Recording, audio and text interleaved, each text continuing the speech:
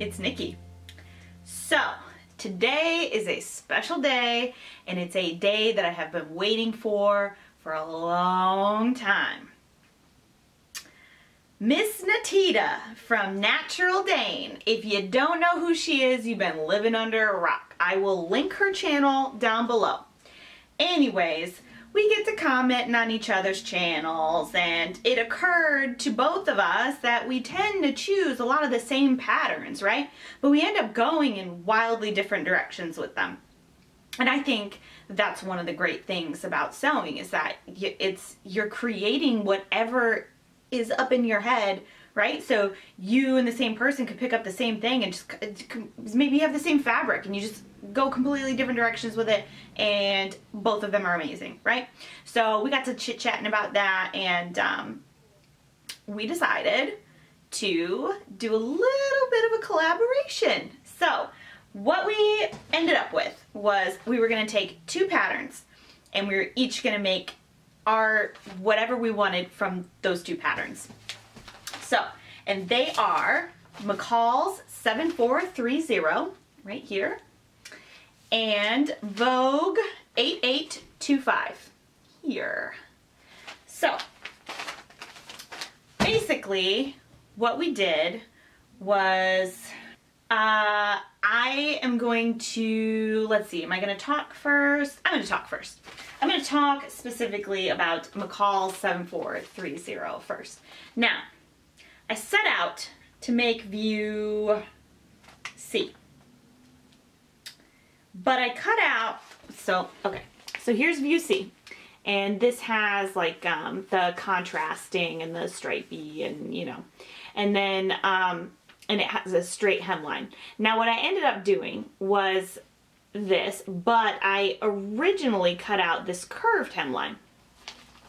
And I did make a test garment. So um, oh, I'm sorry my lighting is terrible. It's very gray and rainy out today. I have no natural light happening, but this is getting done. So I did make a test and that, ooh, that I did not put on video because I I mean, I didn't um, really make much change to it. So I did it in this green Ponte. It's like a textured, like a, like a twill textured Ponte. And this was just something I got from a Fabric Mart, come on, Fabric Mart mystery bundle. And I just did it all in the same thing. And I did do this curved hem. Now, uh, it fit and I hadn't actually done the hems on the dress. So, so two things happened the first thing that happened was I went ahead and it fit fine, so I cut out the pieces to make my final version, right? And then I went and hemmed it. And I also, I eh, hemmed this one because I thought, oh, there's nothing wrong with that. I'll just, I can wear that. And so I hemmed it and everything was not fine with the hem. But the, there was another thing that happened as well. So let's talk about this hem first. This curved hem is a nightmare. I, it, nope. it just didn't go well. So what I'm going to end up doing is this one I'm probably actually going to cut off and make um, just a turtleneck out of it. Um, just because I, I don't have um, a whole lot of need for like super bodycon dresses at the moment. Which brings me to the second thing that happened. So we decided on this way, way, way back in like, I think it might have been September. Um, it was a while ago. And in September, I was still pretty svelte from summer. And then I, things, you know, fall came. I mean, we all know what happens when fall comes. That's why January is when we make resolutions because we screw everything up in fall. So I have also gained uh, mm, mm, 10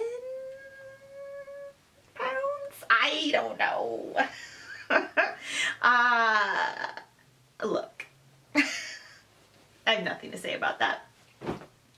I'm not super worried about it. I'll fix it in January. But for now, the end result like was based on what I weighed in September, which is stupid. Like I'm an idiot. I knew I knew Thanksgiving was coming. So, but I did it anyways. and it still fits. Like I can get in and out of it. Now, this whole video is going to heavily involve um, Spanx undergarments uh, locking everything into place for me. So I'm going to insert, uh, so before I insert the video clip, I'm going to tell you, so, so this is the final dress, right? Sneak peek. And I am wearing um, a full-on Spanx like bodysuit as well as a pair of leggings with this, right? So look, we gotta do what we gotta do. I like this dress and I'm gonna put it on, right? But, but, accommodations need to be made for my butt. So, yeah, so here is the clip of me wearing McCall's 7430 View C.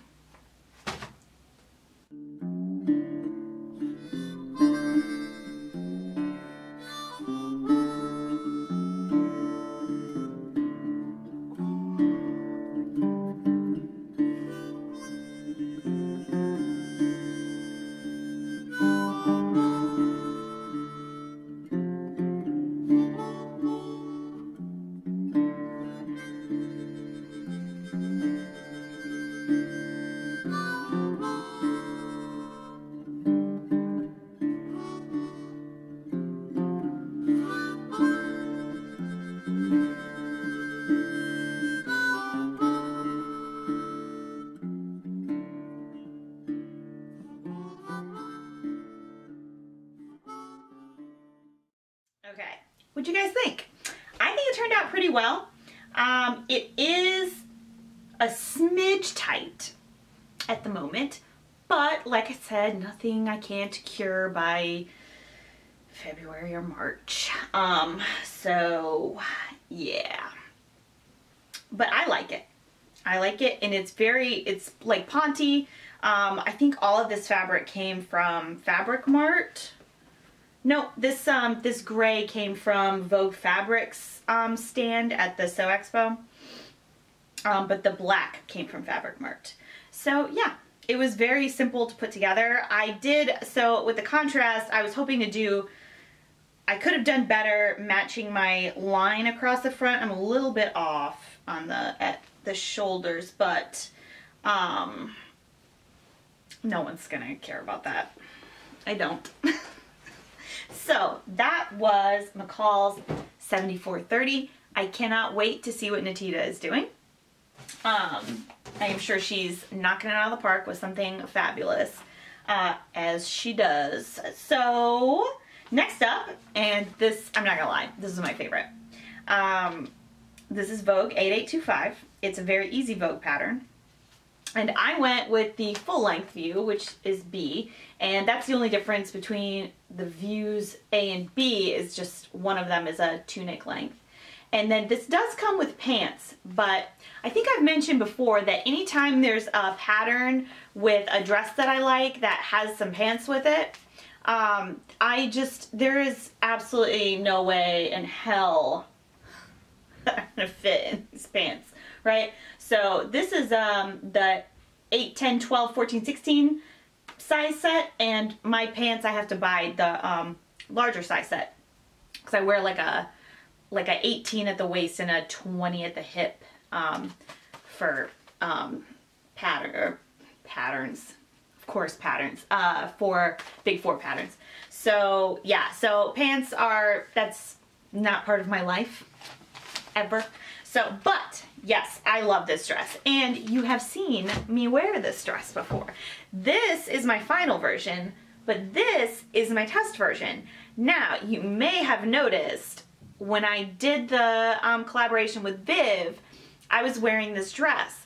And that's why neither one of us said what we were wearing because I didn't want to ruin the fun. You know what I mean? I, I had, I, it just completely lost my, like went out of my head that I should not wear that because then we can't say what we're wearing. Or at least I couldn't and Viv was kind enough to humor me and not tell you guys about her delightful outfit which she made. So yeah, but here it is. So you'll recall that I've worn this before. And now I didn't realize like after I saw the video of us, I realized how busty it made me look. like, I was like, good lord, I got boobs everywhere. But I'm mad about it. so, yeah, so, um, I also noticed like this has a very, this has a flat front and I also noticed in that video that um, you could clearly tell that I had a morning breakfast of Taco Bell. So, but hey, whatever. Girls gotta eat, right? Anyways, so yes, and I, so this is um, some of the mystery bundle fabric again. So nothing I was really in love with, but I ended up liking the outcome of this. So I have worn this out before and I really enjoy it. Now, um, I'm to insert the video of me wearing it here. Je vivais comme un loup, manquant de volupté, errant dans ces souterrains oubliés. J'avançais sans arrêt, tombais épuisé. Quelle sombre histoire ce monde a exploré.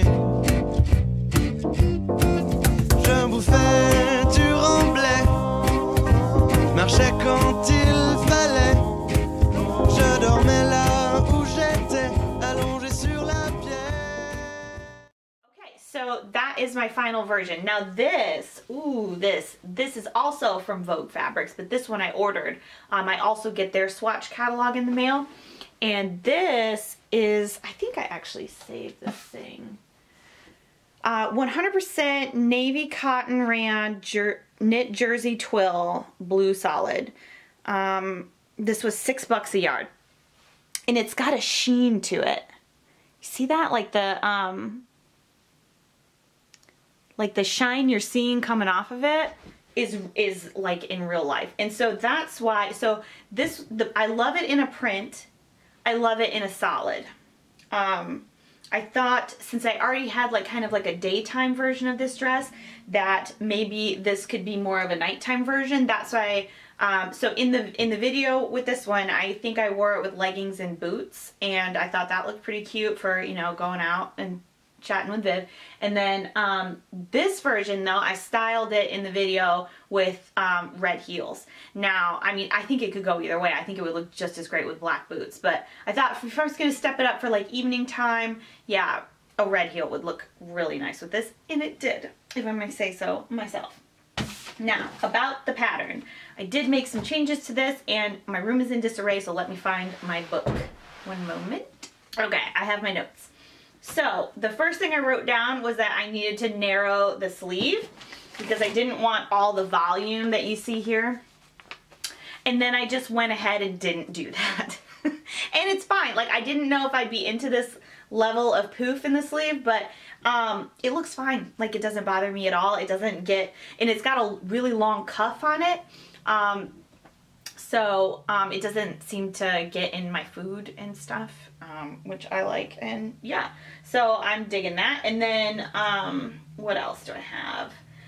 I cut a size 16 in the skirt and I cut a size 12 in the bodice.